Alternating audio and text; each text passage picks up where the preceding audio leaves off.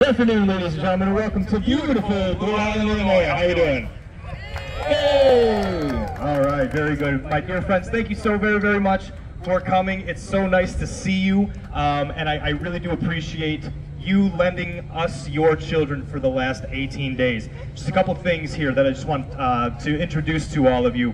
Um, what you're about to see is the result of our hard work over the last, like I said, 18 rehearsals.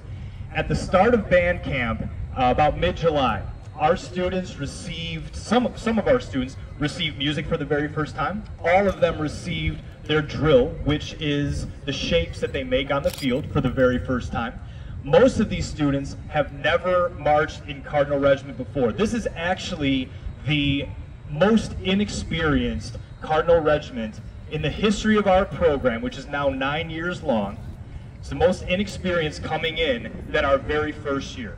Okay, so um, you know we didn't exactly know what to expect. However, we were so pleasantly surprised, and to say that we are proud of all of these students for what they've accomplished is a gross understatement.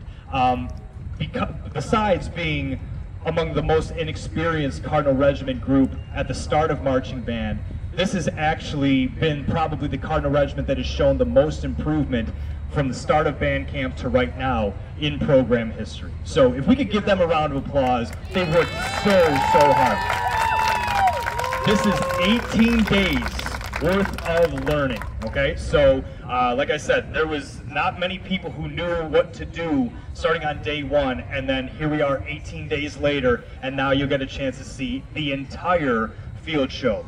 Uh, a couple things, we will have actual uniforms. Uh, we're not going to be marching in these t-shirts, although they're very comfortable. Thank you, Marathon Sportswear. Um, we also have some nice field props. You see orange cones. Those are just placeholders, okay?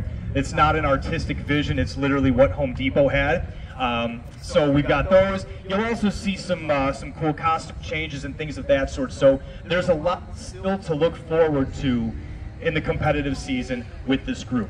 If you like what you see, parents, and you want to volunteer and help us out, we will always need help with what we're doing here. Setting up props, transporting equipment, helping feed the kids, water the kids, those types of things. So if you're interested, this is not going to be the only time you're going to hear me talk about this, um, but if you're interested, please let me know and we'll get you involved. Plus, it's a great way to make new friends and you get a chance to see who your kids hang out with. So that's pretty cool. Um, I want to just uh, say before we begin, I want to thank a few very, very special people. In no particular order, it's my marching band staff.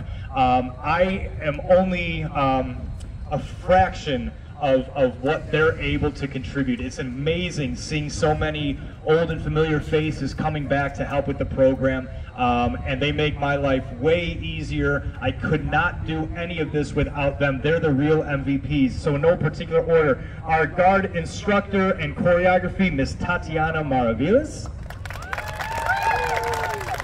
Our recent high school graduate guard instructor, Zachary Trubit our former student teacher from 2021, Mr. Andy Garcia, helping with the woodwind. Our former student teacher from 2017, Miss Morgan Kupek, helping with the woodwind. Our brass instructor, Mr. Asa Valenciano. Our brass and visual instructor, Mr. Marco Martinez. Our freshman liaison and woodwind instructor, Miss Liliana Campos. He's not present today, but our junior high feeder from District 130, band director Mr. Emmett O'Brien. We'll give him a round of applause. Our percussion instructor virtuoso, Mr. Jalen Davis. The one, the only, a true inspirational band director for all of us, and somebody I learned a ton from, Mr. Kirk Hickman.